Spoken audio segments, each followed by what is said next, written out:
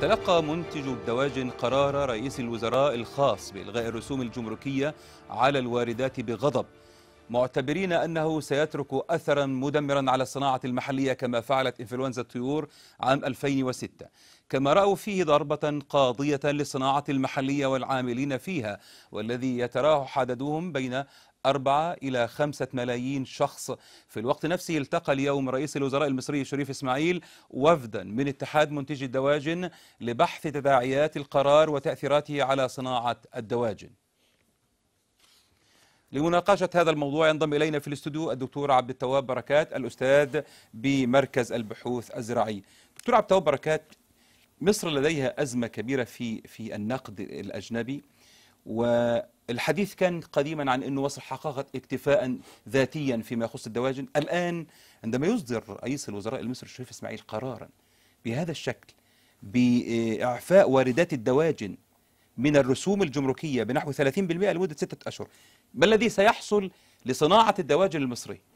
لا شك إنه خراب بيوت بالفعل لمنتجي الدواجن خاصة صغار المنتجين ودول بيحققوا تقريبا 80% من إنتاج الدواجن لمستهلك الدواجن. هو المستهلك المصري بيهرب إلى يعني الدجاج يعني هربا من ارتفاع أسعار اللحوم التي تجاوزت ال 100 جنيه. فهو اولا خراب للمنتج وبالتالي سوف تتوقف يعني مئات الآلاف من مزارع الدواجن الصغيرة وتخرج من الخدمة نتيجة انخفاض السعر المحلي. وهذا في الحقيقة هو إغراق للسوق المحلي وإغراق للمنتج المحلي على حساب يعني المنتج الأوروبي والمنتج الأمريكي. وإحنا شفنا هذا القرار الثاني لأنه كان القرار الأول هو قرار وزير التموين السابق خالد حنفي.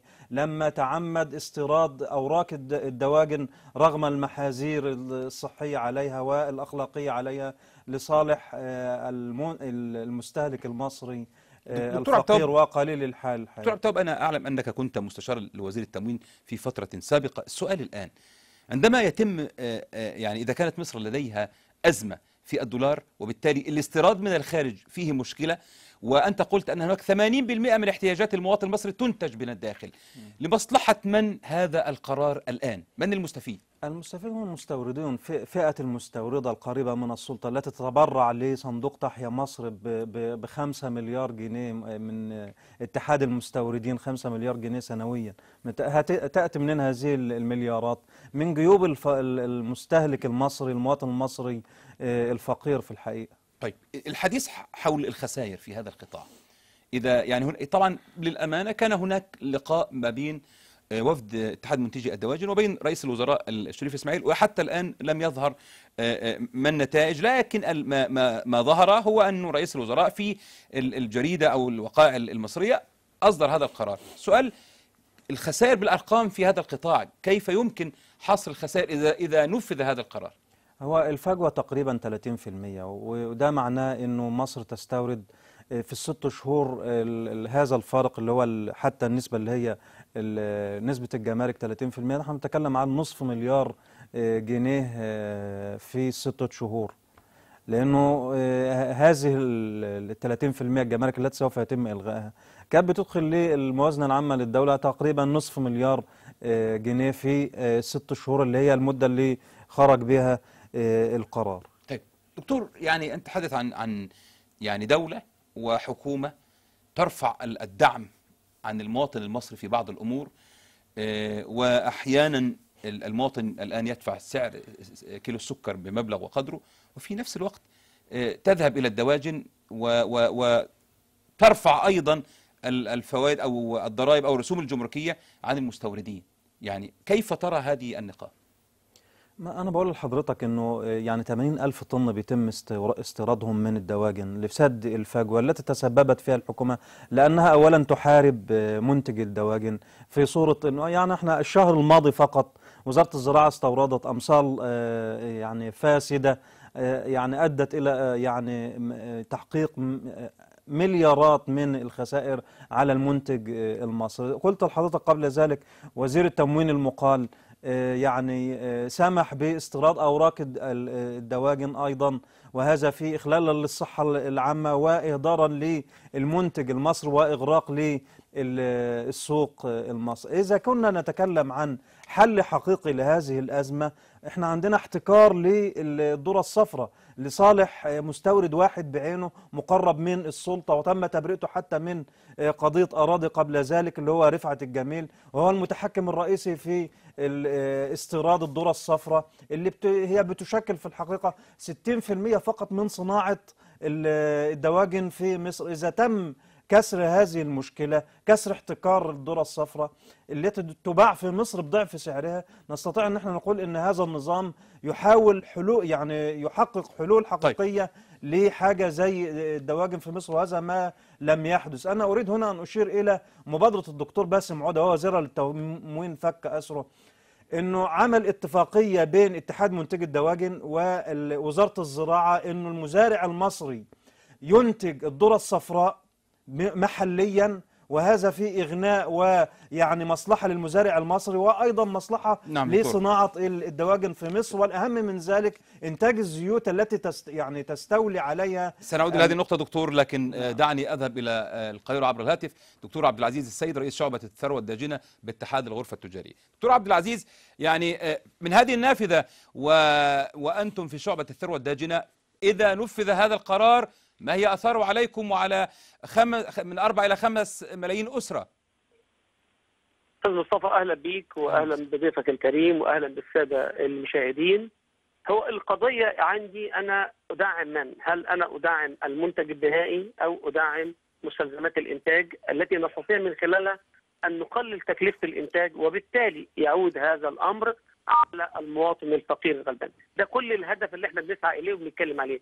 لابد إن إحنا حينما نتحدث عن الثروة الداجنه في مصر نتحدث اننا يتم استيراد 85% من مستلزمات الإنتاج من الخارج ودي كلها الآن في ظل الظروف الحالية في ظل ارتفاع سعر الصرف ارتفعت الأسعار وصل سعر طن الذرة إلى 3950 الصويا 7200 هو ده اللي إحنا بنتحدث عنه. إن إحنا إذ لم يتم تدعيم المربي المصري تدعيما كاملا هيحدث عندي مشاكل كثيرة جدا وهيخرج ناس من المنظومة. لا أنا المفروض أعضده المفروض أقويه المفروض إذا كان عندي أزمة رغم إن أنا حققت 90% من الاكتفاء الذاتي وعندي 10% اللي هم بيمثلوا ال 80 ألف طن اللي إحنا بنتكلم عليهم وبيتم استيرادهم من الخارج. لابد إن إحنا ندعم المنتج المصري من خلال إن أنا أرفع الجمارك على مستلزمات الإنتاج وبالأخص رز وفول الصويا أتكلم على الجيلاتين أشيلهم. ده اللي إحنا بنتكلم عليه. لكن إحنا الجهات المعنية ما بتاخدش بتعريفة جمركية. فلذا ما كانش عندي مشكلة في الوقت الحالي. هل أنا عندي مشكلة في مصر؟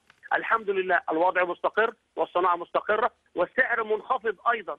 فإحنا من المفترض يتم الاستخدام الأمثل للمبالغ التي يتم تحصيلها من هذه الأمور لتعضيد الصناعة وتقويتها على الأقل.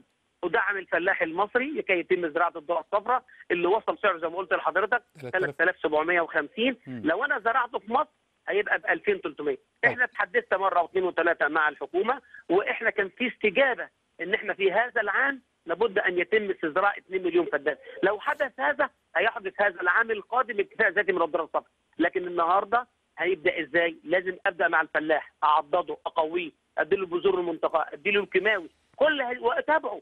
ثم آخذ منه دكتور عبد العزيز.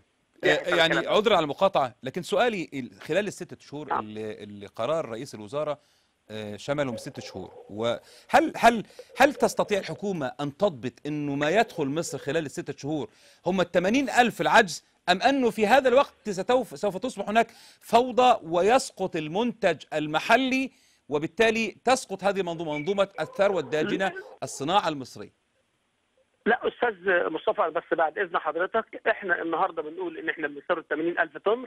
خلي بال حضرتك في ظل ارتفاع سعر الصرف النهارده لو شلنا التعريفه الجمركية هيصل سعر الكيلو إلى 30 و32 مم. سعر المنتج المحلي 25 مم. فالنهارده صعب جدا إن حضرتك تكون مستورد وتستورد ثم بعد ذلك تبيع بأقل من السعر اللي أنت ومجمد يا دكتور عبد العزيز في النهاية هي هي هي فراخ مجمدة أمام فراخ حية.